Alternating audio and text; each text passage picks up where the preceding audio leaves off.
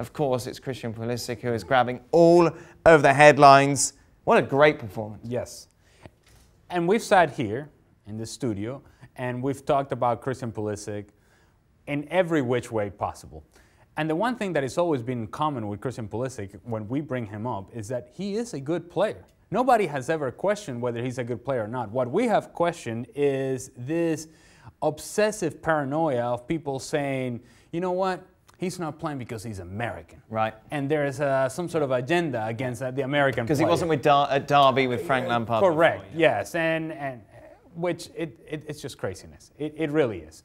And so, as any other player in the world who comes to a new team, and I'll give you an example, Matthias de Who was considered to be super duper best ever defender, young, whatever, so on and so forth, coming from Ajax, goes to Juventus, and what did he do the first couple of weeks? He sat on a beautifully uh, leather Italian bench that was for him right off the field. That's what he did, and he only came on the field because Chiellini gets injured. So if it's good for de Ligt, it, it's also it also happens for Pulisic. Not specific to the American player or specific to Pulisic, but to the credit of Christian Pulisic, he gets an opportunity to play, and every time he's got an opportunity to play, or most of the time anyway, he's had an impact. And today he had a tremendous impact. Gets an opportunity, takes advantage of that opportunity, scores the three goals, and now it's a matter of you know what? This is how I earn my respect within the locker room. This is how I earn the confidence of my manager. This is how I earn the respect of the fans, of the organization. By having this sort of performance, proving it on the field, not off the field, not by contract, not by the money you're getting paid, but by actually doing it on the training field, taking that to the game, and then producing the way he did today. I don't mean to use Twitter as a reference for my Uh-huh. questions, but I will do because someone was saying, this is why I was saying he should be starting all the matches. Ah, well, of course. Do, do, do these people on Twitter that you are taking these questions from, do they think that Frank Lampard sits back and says, you know what? I really don't want to win this game. so I'm going to make choices to give my team the least opportunity to win a match. No, Frank Lampard is trying to put out the team that he thinks gives him and Chelsea the best chance to win. And when he has evaluated the team over the course of the season, he has said, you know what? I like Willian to play. I like Hudson Odoi to play. I want Pedro to play. In this case, he's also said that Christian Pulisic is being trained at a level that deserves a start. So he got a start. Mm-hmm. And to the credit of Christian Pulisic, he made the most of it. And that's what you do as a professional. You work, you work for the opportunity. Now you get the opportunity, that door is open, and you walk right through that door, and that's what Pulisic has done. And now he has put Frank Lampard in a situation where it's very difficult to put him back on the bench. And so then whoever was sat on the bench now will have to work in order to get an opportunity to play and try to make the most of the opportunity when he gets that chance. This has nothing to do with where you come from or what your background is. Is it do we like Hershey, Pennsylvania, or we don't? It has nothing to do with that. Which, by the way, I love Hershey, Pennsylvania. Oh, yeah? Yes, I do. is You've that where they make the chocolates? Yes, they do. Not a big fan. Oh, oh, okay. All right. Well, I like the chocolate. Bitter. so negative today. But the point, the point being is, you know what? He got a chance to play. He took advantage of it, and now, probably more than likely, will will remain on the field. What about Chelsea, eh? Yeah. Yeah, and, and we had all sorts of reasons to think that maybe Chelsea, because of this youth movement, that it was going to take some time. And while there may have been some early struggles and early questions about Frank Lampard, is he the right man for the job? And was he just given the job because he's a Chelsea legend? Is, is his legend status going to drop because he's not going to be successful with Chelsea? And here we are. Yeah. They're playing well. The young players are Fun playing well. watch. They're fun to watch. They're entertaining, but they're getting results. They're productive. They're dynamic. There's a lot to like about Chelsea, and most of all, you, you. This is a team that was not expected to be doing this well, and a lot of players that were not expecting to be doing this well. And you see him out there, and he proves, you know, who are we? We're nobody.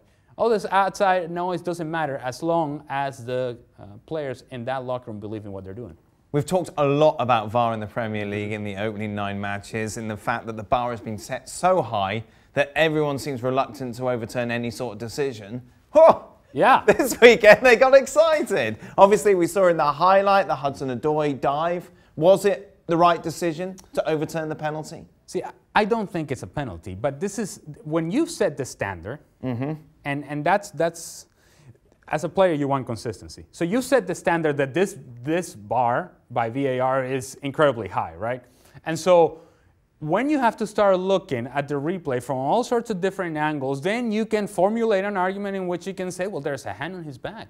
this the defender is dangling a leg. Maybe there's some contact. Maybe there's some interference. And so, are we going back to the conversation of if this was given as a penalty, as it was, Yeah.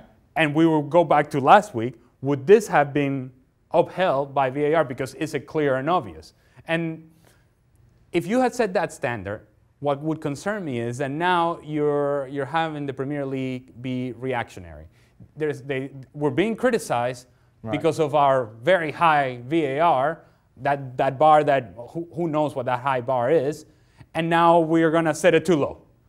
And the truth is somewhere in between. How about you just get the call right? What was interesting in that, and we saw, of course, in the Brighton Everton game, Michael Keane, the penalty was awarded after not initially being given, was that neither referee went to a monitor. Correct. They were told over an earpiece, we know a monitor is available in the Premier League. No one has gone to look at it yet. Mm-hmm. I don't know what they're afraid of seeing on it. But on both of those occasions, would you agree the best way to go forward was for both of those referees to go and reference a monitor? Yes, and if, if, if nothing else for the perception of actually going and seeing the play yourself, Yeah. not, not just be told. Because in the Hudson Odoi sequence, for example, the referee doesn't go and see it, and He's told. He's told, and then he gives a yellow card and said, Yeah, "Wait a minute, you, you saw it as a penalty." Yeah. A minute ago, you saw it as a penalty, and now you're being told it's a yellow card. How about if you're a referee and I'm sitting there, I'm thinking, well, at least let me see it. Because Yeah. you're telling me it's a yellow card, let me see it. Because I'm the one giving out the yellow card. I'm the one with the responsibility. Let me go see it, and then I'll evaluate and make the assessment as such. That's, that's the part that I think there's a disconnect with VAR in the Premier League, in that the perception from the outside in is that some guy who's not in the stadium, who's somewhere else, he's making these decisions, he's telling you how to do it, and the referee bears no responsibility. He's the one making the call in the end, so shouldn't he be the one that goes and sees it and looks at it and evaluates it? And he- he's also seen it in real time. Sure. So he's he's seen the, the whole play leading up to this. He knows the context of the game. Whereas whoever is in rooms in, in a dark room somewhere Yeah. doesn't quite have the same access that the head referee who's right there. Give him access. What, let him watch it play. What's it going to take? Another 30 seconds? People are going to complain about that. If they don't, if they do, who cares? Thanks so much for watching ESPN on YouTube. And for more sports highlights and analysis, be sure to download the ESPN app. And for premium content and live streaming, subscribe to ESPN Plus.